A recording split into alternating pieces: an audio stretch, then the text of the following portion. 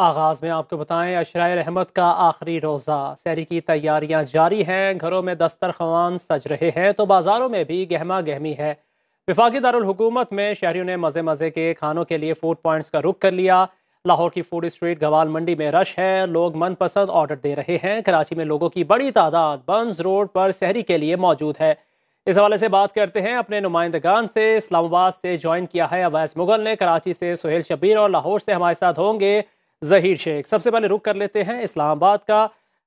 अवैस बताइएगा कि आज अशरे का आखिरी रोज़ा है तो लोग किस तरह से इस इबादत वाले दिन को मना रहे हैं? फ़ूड स्ट्रीट्स पर रश है? जी, बिल्कुल वफाकी दारकूमत इस्लामाबाद के जो शहरी हैं, वो जो अशर रहमत है, उसका आज आखिरी रोज़ा है, दसवां रोज़ा है, और दसवें रोज़े की सहरी जो है, वो यहाँ पर एक मैं फ़ूड पॉइंट पर मौजूद हूँ मेलोडी फ़ूड पॉइंट पर, यहाँ पर लोग जमा हुए हैं, और अपनी फैमिलीज़ के हमरा, दोस्तों के हमरा यहाँ पर जो है सहरी का अहतमाम कर रहे हैं, मुख्तलिफ़ जो मज़े मज़े के खाने हैं, उनसे जो है, वो सहरी का जो है, वो अहतमाम किया जा रहा है, जिसमें नहारी, पाए चने और कोफ्ते, और इसके अलावा दही और लस्सी का इस्तेमाल भी किया जा रहा है। इसके अलावा जो शहरी हैं, वो यहाँ पर बैठ कर भी जो है खूब पेट पूजा कर रहे हैं और इसके अलावा यहाँ से पैक करवा कर अपने घर वालों के लिए भी लेकर जा रहे हैं। इसके अलावा मैं आपको ये भी बताऊँ कि जो नौजवान हैं, जो यंगस्टर्स हैं, वो सहरी करने से पहले ख़ास एक्टिविटी करते हैं, फुटबॉल, क्रिकेट, इसी तरह की जो एक्टिविटीज़ हैं, उसमें वो अपना टाइम गुजारते हैं। उसके बाद वो यहाँ पर फ़ूड स्ट्रीट पर इकट्ठे होते हैं, रोज़ा रखते हैं और रोज़ा रखने के बाद जो है वो नमाज़ मस्जिद में जाते हैं, नमाज़ पढ़ते हैं और उसके बाद जो है अपने दिन का आगाज़ करते हैं, या तो इबादत में मशगूल हो जाते हैं, या अपने रोज़मर्रा की जो रूटीन के काम हैं, उनको फॉलो करते हैं। और इसके अलावा वफाकी दारकूमत में इज्तमाही सहरी का भी बंदोबस्त किया जाता है, जो मुखैर हजरात हैं, उनकी जानब से बड़े पैमाने पर जो है वो मुस्तकिन के लिए जो सहरी है, उसका बंदोबस्त किया जाता है। और जो सफ़ेद पोश लोग हैं, जो कि सहरी अफोर्ड नहीं कर सकते, उनके घरों तक भी सहरी पहुँचाई जाती है। और इसी तरह से वफाकी दारकूमत इस्लामाबाद के जो शहरी हैं, वो अपना रोज़ा रखते हैं और रोज़ा रखने के बाद इबादत में मशगूल होते हैं। जी। जी, ठीक है, वैस आप हमारे साथ ही रहेगा रुक कर लेते हैं कराची का, जहाँ पर हमारे साथ मौजूद हैं सुहेल शबीर। जी सुहेल, आप बताइएगा कि बंस रोड पर शहरी के लिए मौजूद हैं लोग। काफ़ी तादाद में आज। आ, बिल्कुल देखें मैं आपको बताऊँ कि कराची जो है वो तकरीबन रात को भी इतना ही जागता है जितना दिन में जागता है। कराची में जो है वो रमज़ान में जो है वो नाइट मैचेस होते हैं। मुख्तलिफ़ इलाकों में जो टोलियों की सूरतों में लोग हैं वो मुख्तलिफ़ रेस्टोरेंट्स का जो है वो रेस्टोरेंट की जानब जाते हैं। लेकिन मैं आपको बताऊँ कि बंस रोड एक ऐसी जगह है जहाँ पर डिस्ट्रिक्ट साउथ डिस्ट्रिक्ट ईस्ट और डिस्ट्रिक्ट सेंट्रल पूरे कराची की पब्लिक जो है वो यहाँ पर आती है और अभी भी एक बहुत बड़ी तादाद है जो बंस रोड पर लोगों की मौजूद है।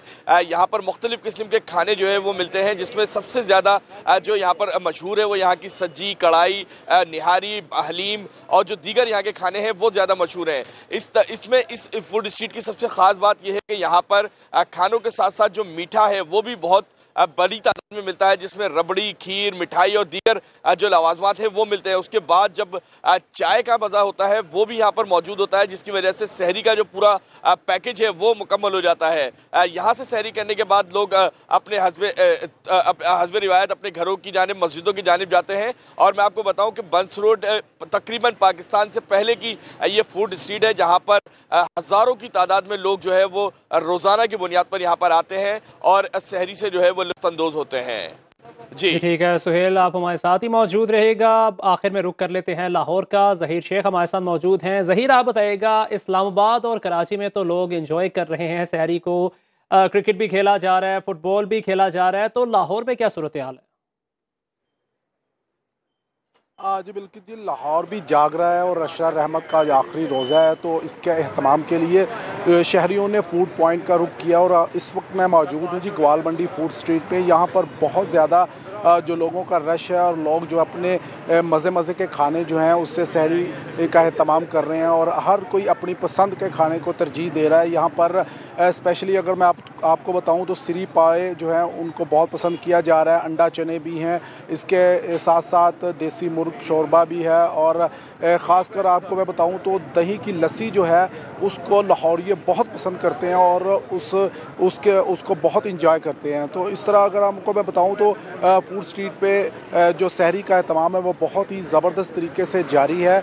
और जहाँ तक लाहौर की बात रही तो लाहौर की जितनी भी गलियाँ हैं स्ट्रीट वहाँ पे बच्चे जो हैं, नौजवान जो हैं, वो क्रिकेट को लाजमी जो है, वो रोज़ों में खेलते क्योंकि रोज़ों में जितने भी नौजवान हैं, वो शहरी रख कर सोते हैं, ये एक मामूल बन चुका है। और उससे पहले उनके उनकी एक्टिविटी के लिए खेल ऐसी चीज़ें हैं जिसमें वो अपना वक्त सर्व करते हैं और उसके बाद वो घरों को जाते हैं या फ़ूड स्ट्रीट का रुख करते हैं। तो इस वक्त भी लाहौर जो है, वहाँ पे खानों का जो है, बहुत ही ज़बरदस्त अहतमाम है और फ़ूड स्ट्रीट जो है, वो लोगों से भरी पड़ी है और यहाँ पर हर किस्म का खाना जो है, वो मौजूद है जो कि अपने अपने पसंद के लोग जो हैं, उनको खा रहे हैं और शहरी का अहतमाम कर रहे हैं। जी। शहरी का अहतमाम किया जा रहा है लाहौर, इस्लामाबाद और कराची में। बहुत शुक्रिया हमारे नुमाइंदगान का। इस्लामाबाद से हमें ज्वाइन किया था वैस मुगल ने।